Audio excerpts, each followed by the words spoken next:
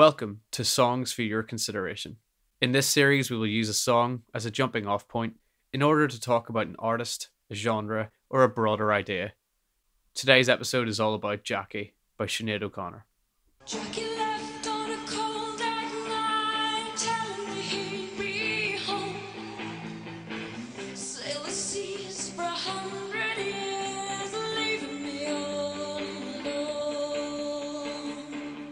But to truly appreciate this song, we need to learn more about Sinead herself. Sinead Marie Bernadette O'Connor was born in County Dublin on the 8th of December 1966.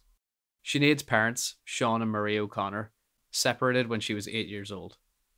Sinead's mother was granted custody of her and her siblings. Her father fought for custody of the children, eventually gaining it 5 years later when Sinead was 13. During that 5-year period, Sinead and her siblings were subject to abuse from their mother. Sinead described this abuse as emotional, physical, and sexual. This abuse would end up having a significant, awful, lingering impact on her life. How did she hurt you? How did she hurt you inside? kicking me, kicking me, and kicking me, and kicking me, and kicking me. And telling me I'm evil and telling me I shouldn't have been born and I'm the reason my father left. It's my fault. After getting caught shoplifting, Sinead was sent to a Magdalen asylum, better known as a Magdalen laundry. These institutions were run by nuns who would use abusive methods on the girls staying there. The justification for this cruel torture was that they were attempting to reform the girls for their past crimes. Allegedly, these were originally set up by the Roman Catholic Church to house prostitutes in order to rehabilitate them, hence the name Magdalene. Instead, 30,000 fallen women in Ireland were sent to these laundries for other reasons, such as committing petty crimes, like shoplifting in Sinead's case, exhibiting sexually deviant behaviour, like flirting, getting pregnant out of wedlock, or simply being born disabled. Some of these victims never left. Well over 100 unmarked graves have been discovered near the Magdalen laundries, as well as around 800 infant bodies of children aged between 3 weeks and 3 years that were stuffed in a septic tank and thrown into a mass grave. Sinead described her time as being treated more like a prisoner. In spite of this, it was here that her interest in music and writing really blossomed. She began recording at this time, even completing a four track EP. She also formed the band Ton Macoute as a singer. Named after the Haitian paramilitary force, they were inspired by world music.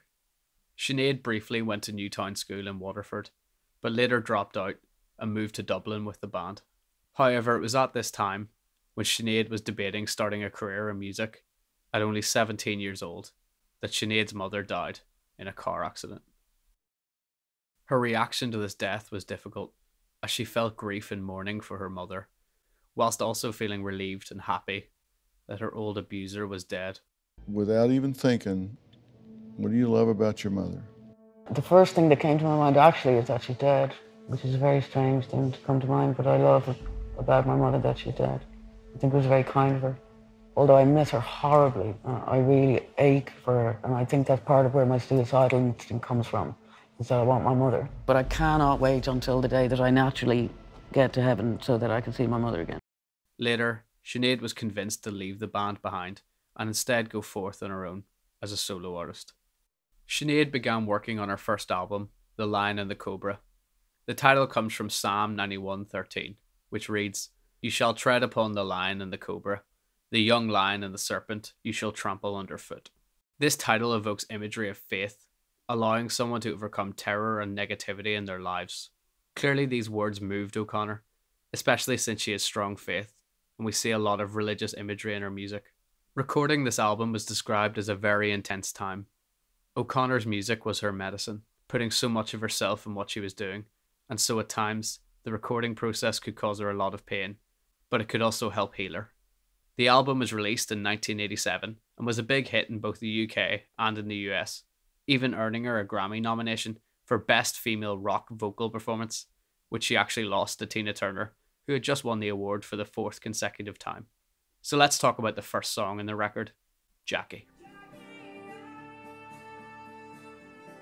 Oh man, there's so many reasons to love this song. So um, starting with the lyrics, it's a ghost story, and it describes this woman, um, who is waiting for her lover, her Jackie, to return from sea, and he never does, and she's sort of in denial, and you know can't sort of emotionally move past this, so she's just walking up and down the beaches, just waiting. And then her body i guess kind of sort of vaporizes kind of disappears but her soul lingers and she's sort of stuck in the earth haunting it um as a ghost just waiting forever for her her jackie to return. Um and it's it's beautiful. It's really really haunting. It's it's great. Jackie left on a cold dark night telling me he'd be home sailed the seas for a hundred years leaving me all alone and I've been dead for 20 years, and I've been washing the sand with my ghostly tears, searching the shores for my Jackie O. As the song goes on, the lyrics give us some more details. I remember the day the young man came. He said, Your Jackie's gone, we got lost in the rain. And I ran to the beach and laid me down.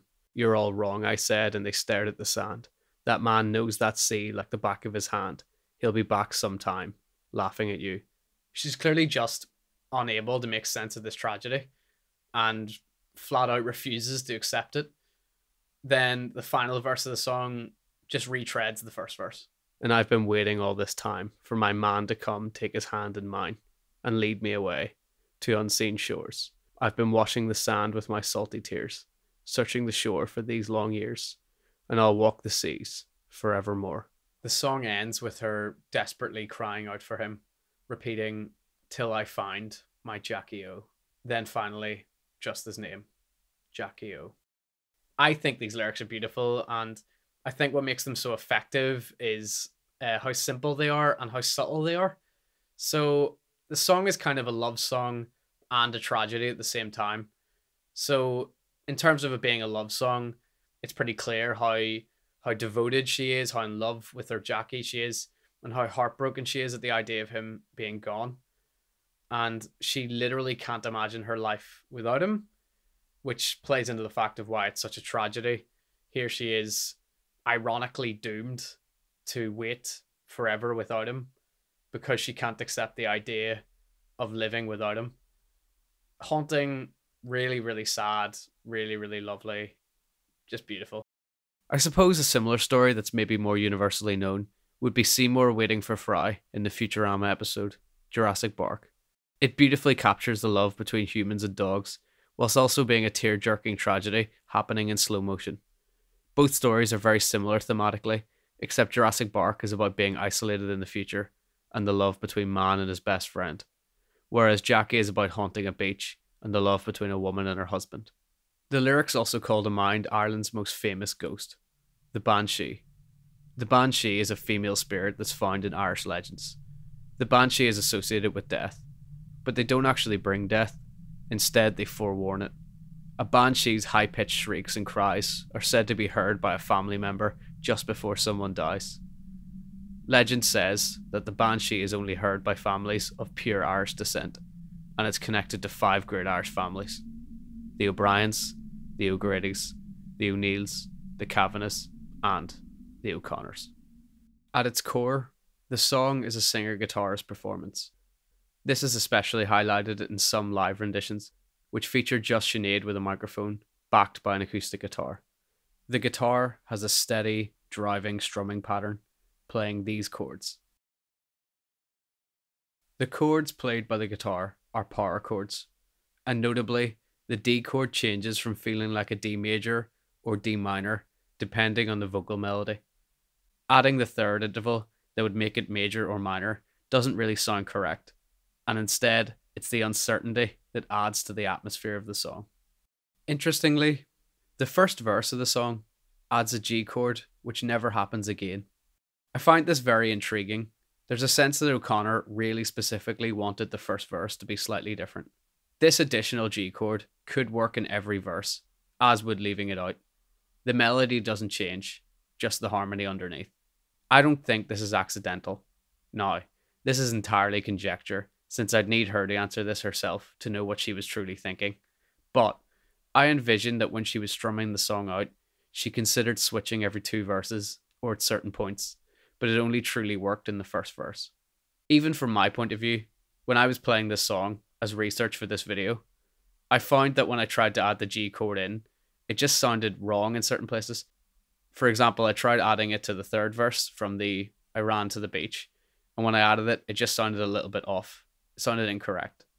Furthermore, this means the first verse has four chords. Then it switches to three chords for the next few verses. Finally, the outro has two chords until it ends on the tonic chord. Counting down four chords, three chords, two chords, one chord. It's as if the underlying harmony is compressing and the song is doing more with even less. Often, it's the subtle changes and the attention to detail that separates good songwriters from great ones. Aside from guitar and vocals, the song features what I believe is a mix of synthesizers and electric guitar feedback in order to achieve a dark and droning backing for the lead instruments. The song builds and builds in a linear fashion, dynamically getting louder and musically growing more and more unbalanced and unhinged until it finally explodes at the end. Vocally, this song is stunning. Sinead O'Connor has a voice like no one I've ever heard. There's so much rawness and passion in what she's doing, so much emotion, but yet so much power and control, even even live. She's able to pull this off and you know, usually if you want to put that much emotion in your performance, some of the pitch and intonation and stuff will will struggle, will suffer. Um, but you sort of sacrifice those things for the emotion, or you can be a very technically gifted singer. But she manages to do both. It's basically just like the two best parts of the human voice. So, like, on one level, the human voice might be one of the most emotional ways to express yourself because it's a way that most of us um, communicate, and you're essentially not abstracting it with um, a guitar or a piano or an orchestra. It's coming straight from you, and here you are expressing yourself in like the most direct way possible. So it's really relatable for people listening. Uh, and that can be some of the most emotive music. But at the same time, Sinead O'Connor manages to treat the human voice as like an instrument in its own right. So the amount of, as I said, pitch and intonation, the amount of technical skill going into this is just absolutely astounding. It's an absolutely incredible performance. Again, not even just the one on the record, which is amazing, but live as well. You can see some, you know, incredible performances. I would definitely recommend checking those out as well if you enjoyed this song. Stunning. Absolutely stunning. Jackie is a perfect example of a song that when it ends, I have to fight all temptation not to just start it all over again. It just it could loop forever, you know. Um, but luckily the rest of the album, The Lion and the Cobra, is really good. Um, so when Mandinka kicks in afterwards, kind of makes it a little bit um a little bit easier to move on. The Lion and the Cobra was a big success, critically and commercially, with Mandinka and Troy being the biggest hits from the record. She continued this momentum with her second album, I Do Not Want What I Haven't Got. The second single off of this album, Nothing Compares to You, written by Prince, was one of the best selling singles of the 90s. The music video was very minimalist, mainly consisting of a tight close up of Sinead singing the song. When Sinead performs the lines, All the flowers that you planted, Mama, in the backyard, all died when you went away. I know that living with you, baby, was sometimes hard, but I'm willing to give it another try. Nothing compares. Nothing compares to you. We see a tear roll down her cheek. This wasn't planned or scripted. The lyrics and the performance overwhelmed her. She felt herself on the verge of crying, and as she put it, I let it happen. Sinead O'Connor was now a star, beloved and revered by both critics and fans. Although this picture perfect pop star persona that was thrust upon her was already starting to show cracks. Sinead O'Connor's voice helped her become a household name.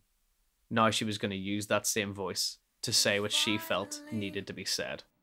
and permanently discredited. Despite the mainstream success, Sinead O'Connor was far from your typical pop sensation. For a start, her signature look famously included a shaved head. Sinead explained that when she was a child, she described her sister as having beautiful bright red hair. However, their mother didn't like it, describing it as horrible and disgusting. Her mother would call Sinead her beautiful daughter and call Sinead's sister her ugly daughter.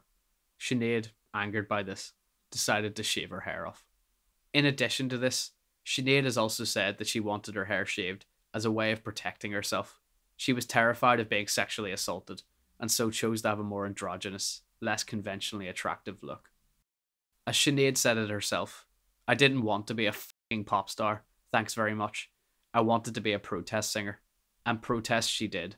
Sinead O'Connor's outspoken and uncompromising antics landed her in hot water repeatedly. Sinead's explosion into fame caused a lot of stress on her mental health. She was nominated for various awards for her music, such as Grammys. She rejected these awards and wouldn't attend the ceremonies because she felt she didn't deserve them. In a similar vein, O'Connor made the headlines when she refused to sing the US national anthem before a performance at Garden State Arts Center. The center had a policy of singing the Star Spangled Banner before every event, but Sinead felt national anthems had nothing to do with music. This was not specific to the US. She had a blanket ban on all national anthems before her shows, including the Irish anthem. Eventually, the venue caved and allowed her to perform without the inclusion of the Star Spangled Banner, but this didn't stop the mass uproar that followed it.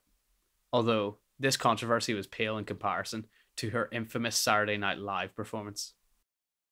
On the 3rd of October 1992, Sinead O'Connor was invited to perform as a musical guest on an episode of SNL. During the dress rehearsal, Sinead performed an a cappella cover of Bob Marley's War, at the end of which she held up a photo of a starving child as she said the word evil.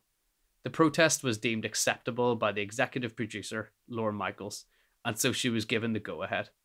However, during the actual live performance, she went off script, and this happened instead. Until that day, there is no continent which will know peace. Children, children, fight. We find it necessary. We know we will win.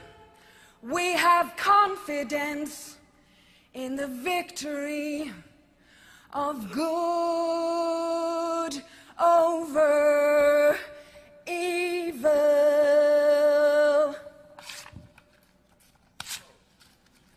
Fight the real enemy. Sinead changed the word racism to child abuse.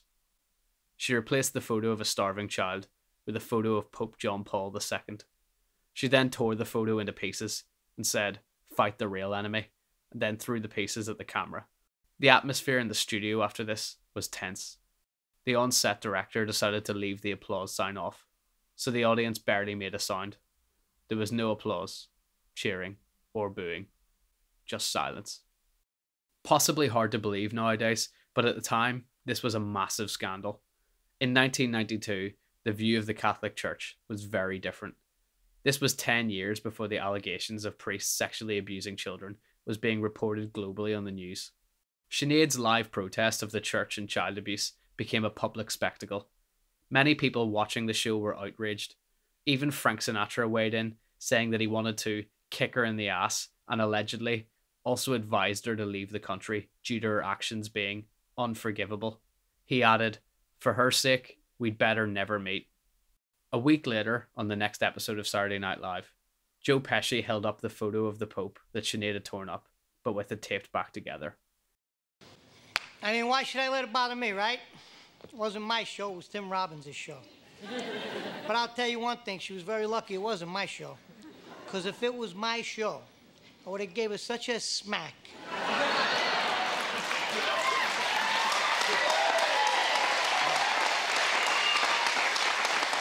13 days after her SNL performance, Sinead was due to perform at a Bob Dylan 30th anniversary concert, along with Neil Young, Tom Petty, George Harrison, Stevie Wonder, among others. Kris Kristofferson went to introduce Sinead, saying, I'm real proud to introduce this next artist, whose name became synonymous with courage and integrity. Ladies and gentlemen, Sinead O'Connor. This was immediately met with booing from the audience. The booing was so loud, it drowned out O'Connor and the onstage band, who were meant to be performing a rendition of Dylan's song, I Believe in You. Yeah, she got booed, didn't she? Yeah, I went out. I, uh, they told me to get her off the stage, and I said, I'm not about to do I went out and I said, Don't let the bastards get you down. yeah.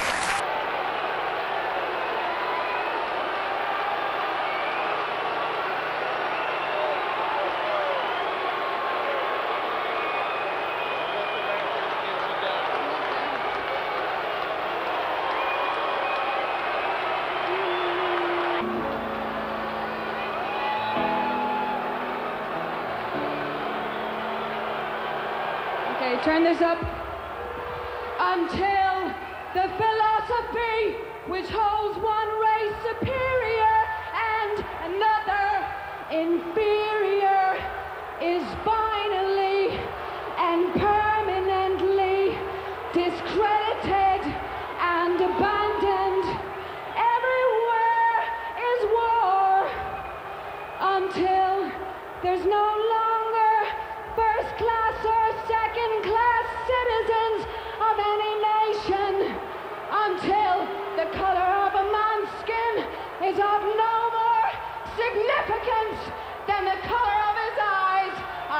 to say war! After these controversies, in terms of commercial success, Sinead O'Connor never really hit the same highs as her first two records. Sinead actually claimed that Nothing Compares to You being a massive hit actually did more damage to her than the protests and media hysteria ever did, since she found being a pop star stressful and difficult for her emotionally. If anything, the public image struggles and controversies actually helped her mental health. She was less in the public eye and so could spend more time on herself. Journalists were saying things like, she looks hell bent on destroying her career, rather than saying that she was speaking out against child abuse and sexual abuse. The focus was on continuing her momentum and her success, rather than discussing why this was so important to her and whether or not what she was saying had any truth to it. She was clearly willing to risk all she had worked for for this cause. She was willing to sacrifice her career to stop the abuse of children by the church. The SNL performance is now seen in a different light. Hindsight is indeed 2020. The event that everyone had chastised her for has aged like fine wine. A decade later, in 2002, the Boston Globe Spotlight team reports about Catholic priests and the sexual abuse of minors would start coming out, confirming what O'Connor had said. NBC News in depth tonight crisis in the church, the Catholic community in Massachusetts, dealing now with an ugly secret that's been hidden for far too long sexual abuse of children by priests. And as NBC's Andrea Mitchell tells us in depth tonight, one of America's best known cardinals is a major figure in this controversy.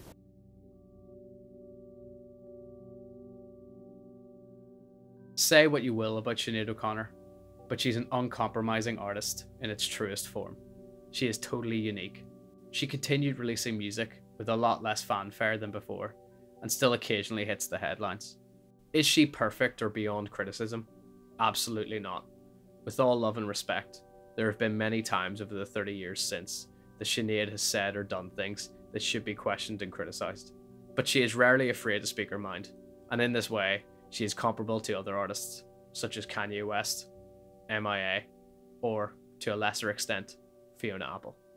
She has been diagnosed with bipolar disorder and post traumatic stress disorder, which may account for some of her outbursts. However, her horrendous struggle with mental health doesn't justify these behaviours, but it may help explain some of them.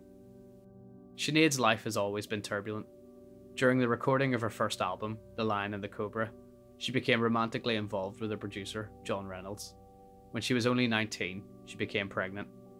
Sinead reported that the doctor she saw actually pressured her into getting an abortion in order to save her career. Sinead made the appointment, but backed out before going through with it, and her first son, Jake, was born on the 16th of June, 1987. Sinead had three more children after Jake Roisin, Shane, and Yeshua. Although tragically, in January 2022, Shane was found dead two days after being reported missing from suicide.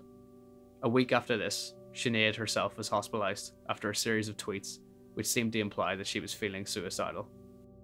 There's so much more I could say about Sinead O'Connor. In many ways, I feel like I'm only scratching the surface. Getting ordained as a priest, her name changes, Universal Mother, Take Me to Church, her conversion to Islam, and so on. Although, this video wasn't meant to be an all encompassing documentary covering every aspect of her life, and hopefully the new documentary, Nothing Compares, that just premiered at Sundance, will illuminate even more about her. Instead, I wanted to give a small glimpse into the mind that gave us the song Jackie. I hope after this you know and understand a little bit more about Sinead O'Connor, and I hope you'll go check out that song Jackie. And if you listen to Jackie and you like it, then check out the rest of the Lion and the Cobra, and then work through the rest of her discography. If you enjoyed this episode of Songs for Your Consideration, be sure to hit that like button and tell me some of your thoughts in the comments below. For more content like this, be sure to hit that subscribe button, and if you want to be notified every time I upload, then hit the bell. I've been BPM Stuff, you've been very considerate. thank you